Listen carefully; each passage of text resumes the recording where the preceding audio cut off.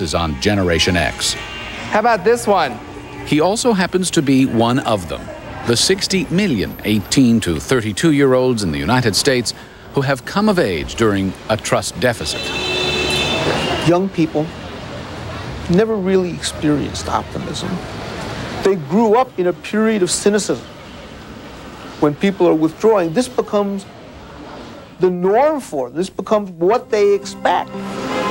Generation X has felt the wage crunch and the debt burden. Average income for people under 30 is $23,000. That's about 25% less, adjusted for inflation, than two decades ago. The average college graduate starts life jobless and almost $10,000 in the hole. The price of starting out economically strapped 43% of 24 to 29 year olds live with their parents. 45% live paycheck to paycheck. It makes them wary of the future. I think that anyone who believes that Social Security will be there when they get older, who's my age, is stupid. Other signposts of mistrust, lessons learned young.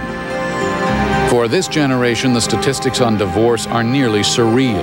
From 1965 to 1975, when most of them were children, the divorce rate doubled. It was a more intense experience, and what we find is that a lot of experts took on a lot of responsibility at an early age um, in an effort to, to cope with this situation. This generation bears the scars of cynicism, but is not paralyzed by those scars. Despite all that's working against them, both real and perceived, they are survivors. The vast majority remain doggedly optimistic about their abilities to adapt and to succeed. And how they do it is instructive.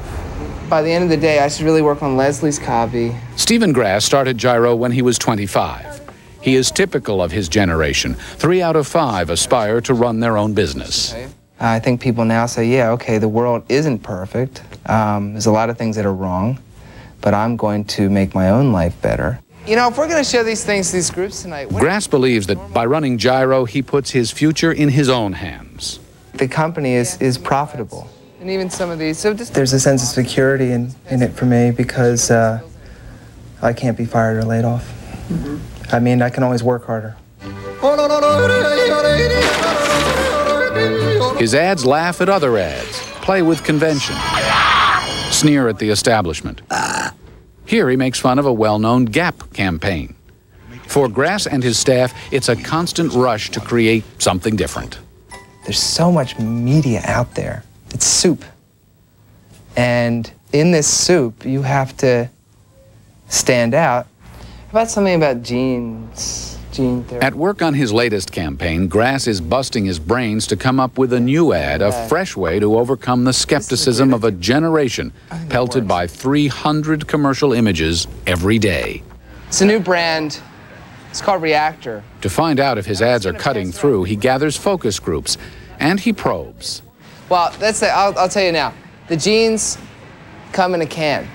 These jeans would come in that can. Unconventional ideas and eye-catching ads. I think this works because I don't think that we need to be spoon-fed. Exactly. In, in advertising. To stand out in a sea of information. You know, you walk down the street a couple blocks and there's so much stuff to see and to, you know, to take in. And... With so much to absorb, they tend to tune out what doesn't seem relevant. I feel like there's not enough hours in the day for uh, about how busy I am. And that carries over into how they view politics. Uh, politics, that's not my world. My world is, you know, Hyde Park, Chicago. That's, that's my world. Fewer than half vote. And among those who do, many don't even see the point. Yeah, I'm probably going to vote. Um, I think I'm going to write in other. I don't know. But that doesn't mean they don't care. This generation does far more volunteer work, for example, than any other age group. Don't hold me responsible for the whole world. That's too big a problem for any one person to take on. But I can make things right where I live.